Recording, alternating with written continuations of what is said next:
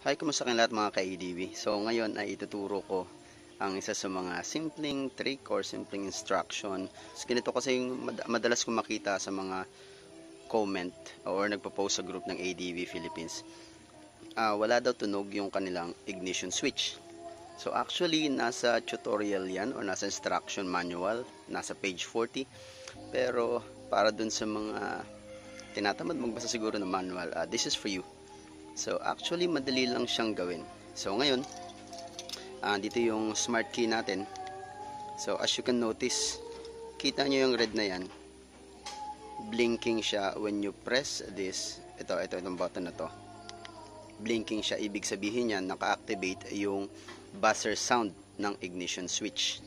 So, try natin. So, ayan. Tapos press natin dito.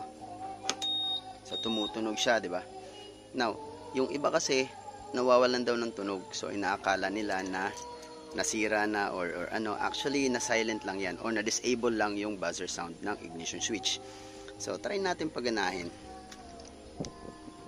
First patayin muna natin. So para ma-activate 'yan, kailangan or, or para ma-deactivate yung sound na 'yan.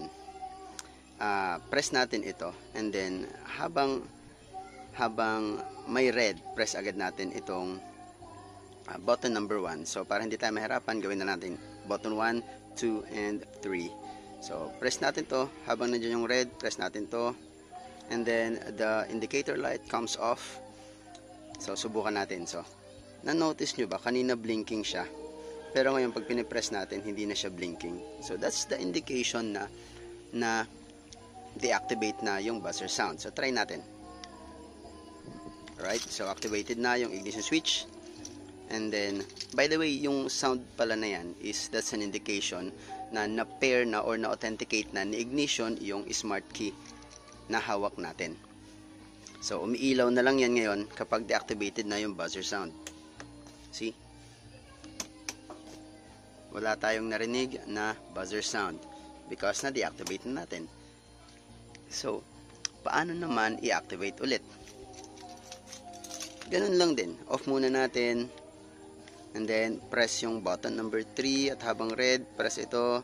Ayun. Tapos pag namatay na, see, the indicator light is blinking again. That's an indication na activated na yung ating buzzer sound. And to check that, ayun. Ganun lang po kadali mga sir. Actually, ah, hindi lang yung sa ignition switch na buzzer yung na-deactivate. Actually, kahit yung answer back is na-deactivate na deactivate din and that's uh, the instruction na makikita natin sa page 15 ng ating manual. So, try natin. So, right now I'm pressing the answer back button. So, see the the, the blinkers comes on pero wala siyang tunog. So, madali lang din gawin yan. Press lang tong button 1 or itong answer back button for uh, like 2 seconds. At kapag umilaw ulit, ibig sabihin ay na-activate na yung kanyang answer back buzzer. Let's try. Yan. So, meron na. Nag-answer back siya with a beep. So, para i-deactivate, press lang din for about 2 seconds. At kapag umilaw ulit yung indicator light, ay deactivated na ang ating answer back. Yan. So, hanggang doon lang muna mga sir. Ride safe po sa ating lahat.